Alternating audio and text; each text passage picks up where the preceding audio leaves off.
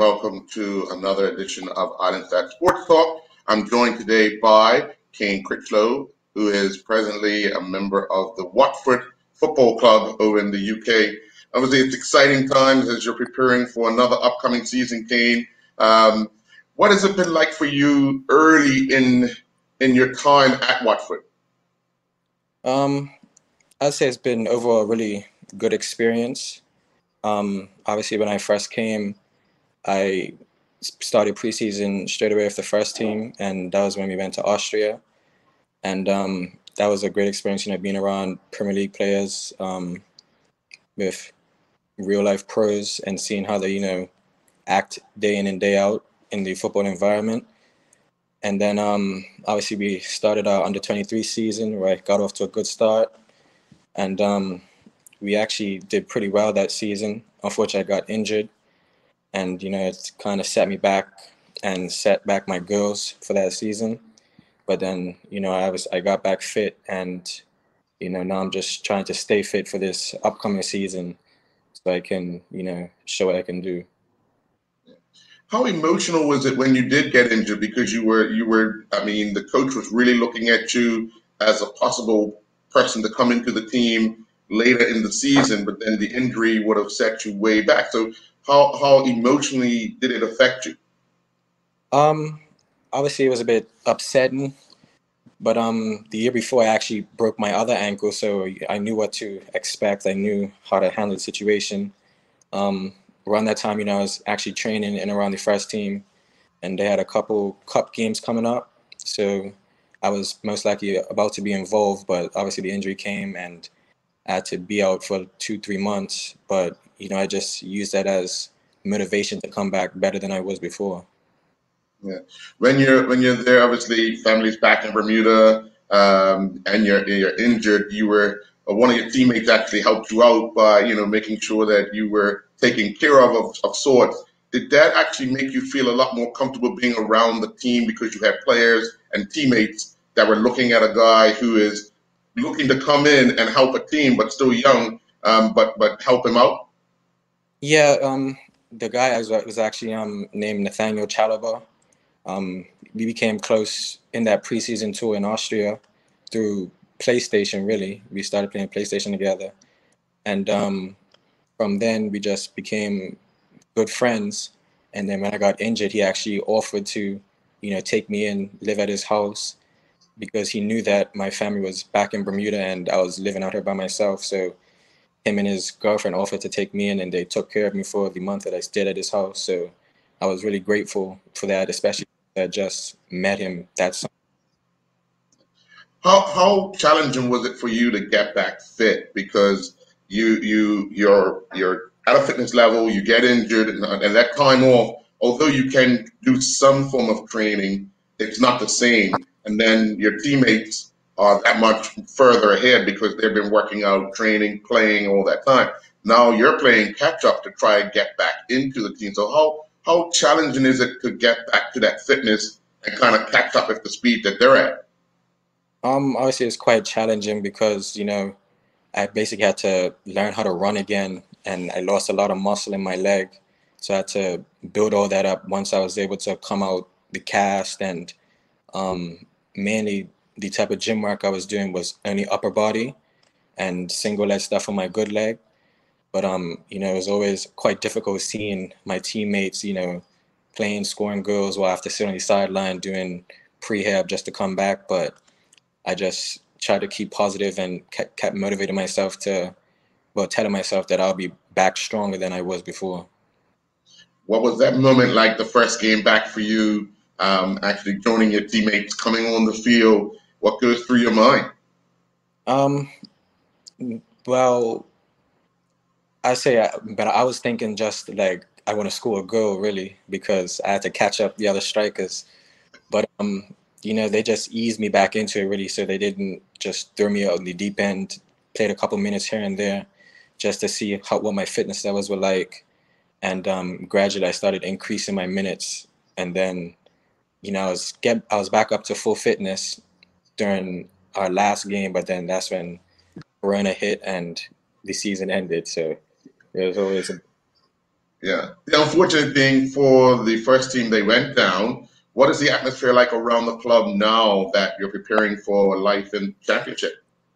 Um, obviously, it was a bit well, upsetting, really, that they went down. Um, but I would say, like now, back in training, like the players are, you know, in good spirits. They're ready to tackle this challenge of the championship, and you know, I think obviously bringing in the new manager, I think that he's the one to set us in the right direction to help us get back to the Premier League. Have you been invited back to the first team training yet, or you're still with the the under 23s? Um, I started off with the 23s because the um, first team had a longer holiday, and then um, just yesterday actually I was started back training with them, and I have training later on today. So yeah, I'm back with them, and we're supposed to have a game on Saturday. Right. What? How big of a tempo is the change between the two? Because the other 23s are, are, basically looking to get into that first team, but at the first team level, it, it's kind of the speed is a little different, is it? Yes, it's it's a lot different because obviously they're men compared to you know us young men, and um, their their playing tempo is a lot faster. They're obviously stronger. They um, know what they're gonna do before they get the ball. Like I, I just say the main difference is the speed of play compared to the 23s. Yeah. How did you get over the the the, the stop of football during the coronavirus? Um, well, obviously, you know, everyone was stuck at home quarantining, and you know, I actually ordered exercise equipment to my house to try and keep fit. Like, um, bought some weights, bought a watt bike, and um, I was just exercising in case, you know, of the restart of the season and um, obviously like the season restarted, so I was I was ready to start training again. Yeah. Looking at it, um, what was it the the atmosphere like once you guys were allowed back at the facility? Because now you have all these different changes about how you train, how many times you train, where you train, what you have to do when you're inside, what you have to do when you're outside. So how how difficult was that for for you adjusting to that as well as your teammates? Um, it was actually a, a, quite big change for all of us. Like, um, we had to get tested twice a week for corona, so I had to put that thing up our nose, which is very uncomfortable. Right. Uh, we actually have to. We're not allowed in the changing room, so we have to social distance, sitting outside. Um, the staff are always cleaning the equipment, the balls, the goalposts. Like it's, it's just been a big change for us, but you know we've all been able to cope with it. Yeah. Looking at the upcoming season with still um, all the rules in place by the UK government, but they're starting to allow some fans in to, to, to watch, I guess, when the season starts. Um, having the ability to have fans at the game for you and your teammates, what, what would that mean for you guys? Um, I think the, the fans play a big part in, you know, supporting the team because you know I've been to a couple games during the lockdown when we um resumed we resumed the league and the stadium's just very quiet and all you hear is the players on the field. But I think um, the players ourselves we need that extra push from the fans, you know, cheering us on because it kind of motivates us in a way. Yeah. Looking at coming from a place like Bermuda, going to a club like Watford once you did sign, um, and, and having the start that you had looking promising for the upcoming season, but then the disaster happens with the, with the, the ankle injury, and then obviously you get back fit, and then here's Corona. Um, are you anxious this season to get started to see to pick up where you left off? Yes, I'm. I'm more than ready. I've been training basically all over lockdown. Um, obviously with the first team as well when they finished their season. Um, we got a short little break, and then we were back in. But I'm I'm more than ready to get going and get the season started. Have you been contacted by um, Coach Kyle Lightbourne to see if there's any way you can get into the Bermuda national team? Um, no, not recent. I haven't got any um, contact from him, but you know, whenever my country calls, I'll always be ready. Yeah. Well, with two two international games coming up, I guess once you get started, the phone will be ringing. um, now, what what is the what is what is it like around Watford? I, I know I asked you before about um, the atmosphere now, getting ready for the Champions League, but um, championship. But um, looking at how some players, um, obviously, some players are let go, some players are kept. The the harmony around the club, what is that like? Um, well, actually, when I when I first joined, um, I always thought that the club was a really friendly club, like a big family type of thing, because you know, obviously, you get new signings every year, um, summertime, January, and there's always new faces. But I just feel like they were always open to new players, very friendly. They speak to you, especially like first team. You wouldn't expect that, but they're actually really friendly people. Um, and just an example of that is when is Nathaniel Chalobah and um, Domingos Quina. When I was away, they were the first ones to, you know, come up to and speak to me, ask me where I'm from and all that stuff. And um, you know, I, I just say they're really they're really friendly, to be honest. Yeah. Yeah. Looking at how the the, the style of the new coach the system that he wants you guys to play, do, do you think it suits, especially in the first team? Do you think it suits your game? do you have to make adjustments?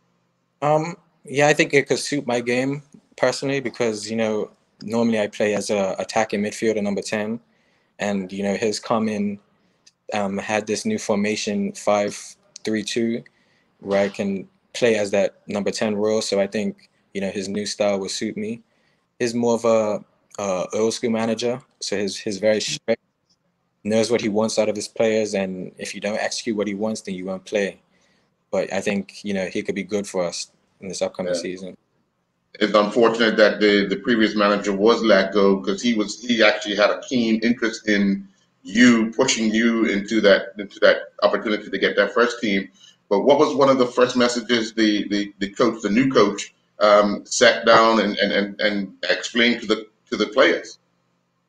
Um, I think he was just trying to implement what he wants out of us. So like I said, he's coming with his new style of play. He he's explained how he wants us to press, how he wants us to attack, and each role of each player.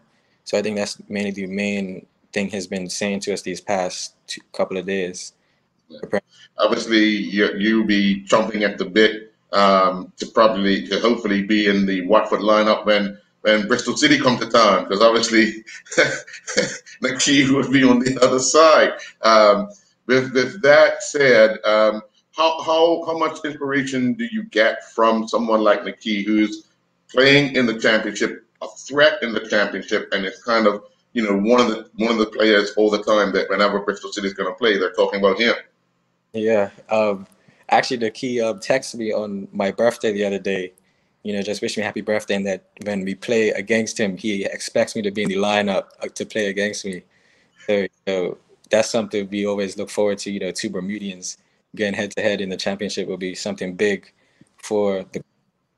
yeah, it's a it's a big inspiration. You know, seeing him do well, and um, it just shows that you know someone coming from a small island like Bermuda can play in the big leagues out in England. It, his his it's been really inspirational. Yeah, well, happy belated birthday. Um, but but during out that challenge, you know, you have a word with your defenders, and obviously, if you're playing, he'll have a word with his defenders. Whatever you do, don't let this guy score. yeah. How, how much of it? How much of it, of the surroundings around Watford um, have changed since the pandemic? Um, I just say mainly the obviously they implemented the social distancing so you can't really you know be around the players as much. Um, you just have to follow the all the new rules and regulations that the the board has, put. you know, just so they obviously won't get in trouble or anything like that. Um, we've implemented like a new car park system, a one-way system around the training ground, just you know to have the social distance rules, and um, you know it, it, it is a bit a lot different than obviously what we're used to and what we had before.